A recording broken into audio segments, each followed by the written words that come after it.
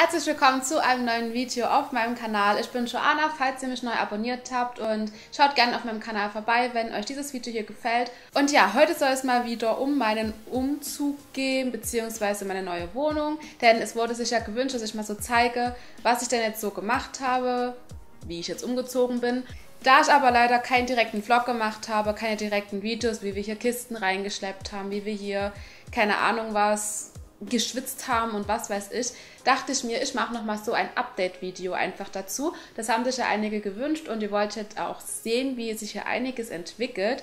Ich werde euch jetzt noch keine Roomtour direkt geben, es wird wahrscheinlich dann einfach mal später kommen, aber es wird jetzt im Laufe der Zeit einfach nochmal andere Videos dazu geben, zu meiner Wohnung, zu meiner Raumgestaltung und ja, ich wünsche euch erstmal ganz viel Spaß jetzt bei diesem Video. Ja, ich habe mir gedacht, ich gestalte dieses Video einfach mit Einblendungen, also dass ich euch einfach kurz was erzähle und immer einblende. Und ja, wie ihr vielleicht wisst, ich bin vor so knapp einem Monat richtig umgezogen, also dann richtig reingezogen mit Schlafen und so. Und ähm, ja, vor zwei Monaten hatte ich dann aber die Wohnung eigentlich schon. Also ich habe wirklich für zwei Wohnungen eigentlich Miete gezahlt, einen Monat lang.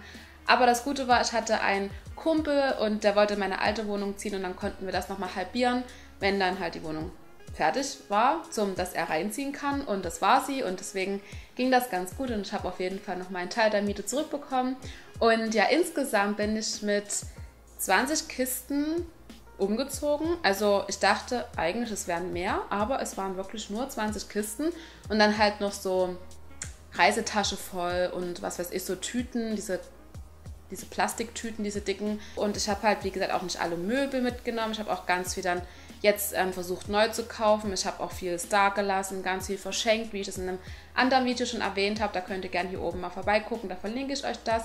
Und ähm, ja, wir haben natürlich auch mega, mega viel Krach gemacht, habe ich das Gefühl. Also ja, ich habe irgendwie so gedacht, oh Gott, hoffentlich kommt mal keiner hier irgendwie vorbei. Aber ich dachte mir, das ist ja eigentlich jetzt noch so eine ganz kurze Zeit, dann bin ich ja eigentlich so gut wie drinne.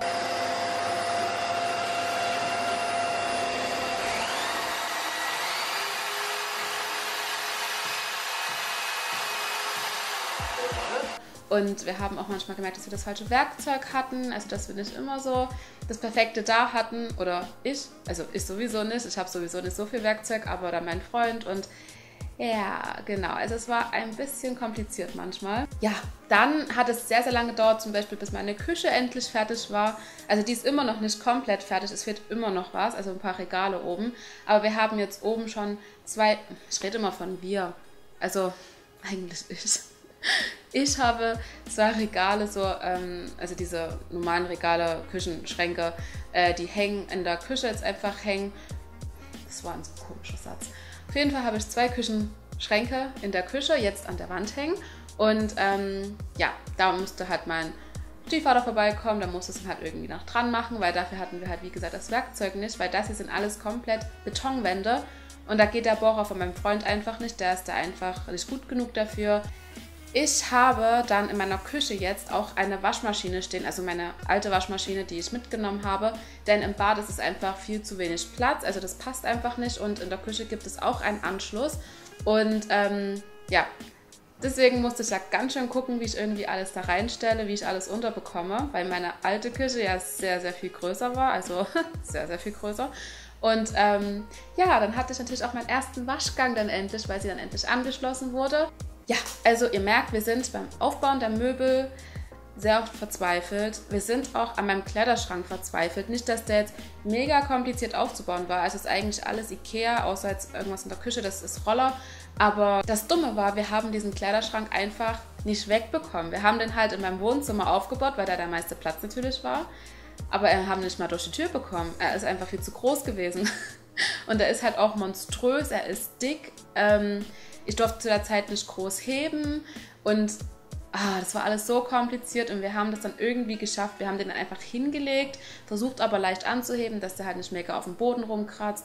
Wir haben den komplett auf den Hausflur dann rausgeschoben, in meinen kleinen Flur wieder rein, immer wieder ein bisschen aufgestellt, bis er irgendwann drin stand und dann, an die Wand gestellt. Ah, also der Kleiderschrank wird beim nächsten Umzug definitiv nicht mitkommen. Ja, dann waren wir gefühlt zwei bis dreimal manchmal in der Woche beim Ikea. Wir waren sehr, sehr viel im Ikea. Also ich habe dauernd irgendwelches Kleinzeug geholt, dann habe ich irgendwie wieder was im Internet gesehen, wo ich mir dachte, ach, das ist auch ganz toll. Und ich habe ja immer nebenbei immer noch verglichen mit so anderen ähm, Einrichtungsmöbelhäusern. Und ähm, ja, habe dann Internet auch noch was bestellt gehabt. Also wir hätten eigentlich auch bei Ikea schlafen können, weiter einkaufen können, wir hätten einziehen können. Ein was Tolles war aber, ich habe meinen ersten Akkuschrauber gekauft. Yay! Nee, ich habe ähm, damals immer schon so gedacht, ein Akkuschrauber wäre eigentlich ganz praktisch, einfach so ein kleines Ding für die Frau. Und ähm, ich habe immer, ich habe ja damals immer schon sehr viele Schränke irgendwie gekauft und ja, aber ich habe ja immer einen Schrank pro, keine Ahnung, was wie vielen Monaten gekauft und dann aufgebaut. Da war es ja nicht so schwer. Aber wenn man dann so eine ganze Wohnung oder so ganz viele Schränke auf einmal irgendwie zusammenbaut, irgendwann tut einem schon die Hand weh. Und ähm, ja, dann habe ich mir fast am Ende einen Akkuschrauber geholt. Ähm, den gab es da beim Netto im Angebot irgendwie und da habe ich mir den gekauft. Und da hatten wir, glaube ich, auch nur noch die Küchenschränke aufzubauen. Also der Großteil hier war schon aufgebaut. Aber ich bin glücklich, ich habe jetzt einen. Ja, im Großen und Ganzen, es sind schon noch einige Teile, die angebracht werden müssen in meiner Wohnung, aber das muss alles von meinem Stiefvater gemacht werden, weil er, wie gesagt, diese gute Bohrmaschine hat. Und ähm, ich sammle extra alles so, dass er nur noch ein bis zweimal herkommen muss oder braucht, um dann alles mit einmal dann machen zu können. Und wir haben Unmengen an Radler getrunken, muss ich gerade mal so sagen. Also ich hatte immer Radler im Haus. Ich habe auch jetzt immer Radler im Haus. Erstens, weil die Temperaturen es wieder zulassen. Ich finde, Radler ist so ein Getränk, das trinkt man irgendwie, wenn es warm ist. Und ähm, ja, ich glaube, so viel Radler habe ich schon lange nicht mehr getrunken wie jetzt in meiner Umzugszeit.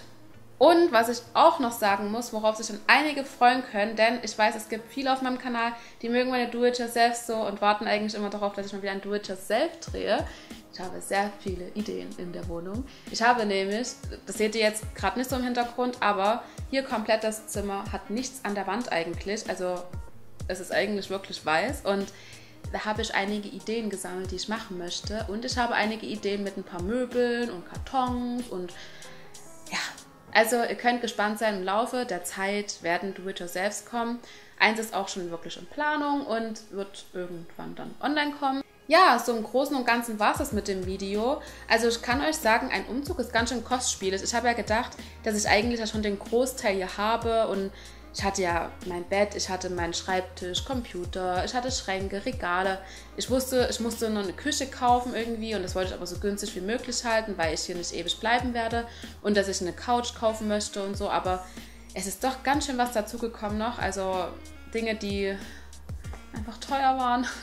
Ja, und wenn ihr irgendwelche Fragen noch habt oder noch irgendetwas direkt nochmal sehen wollt, wissen wollt, schreibt mir das gerne in die Kommentare. Dann werde ich versuchen, es einfach zu beantworten, in einem Video zu verpacken oder so. Denn ich gehe gerade wirklich auf Videowünsche ein. Also ich gehe gerade meine Videos durch mit den Kommentaren und gucke, was sich denn gewünscht worden ist.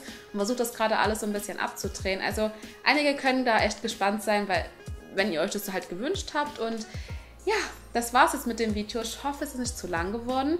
Und dann wünsche ich euch noch einen wunderschönen Tag und dann könnt ihr hier einfach einmal ein Video vorbeischauen von mir und hier unten könnt ihr mich schon immer abonnieren.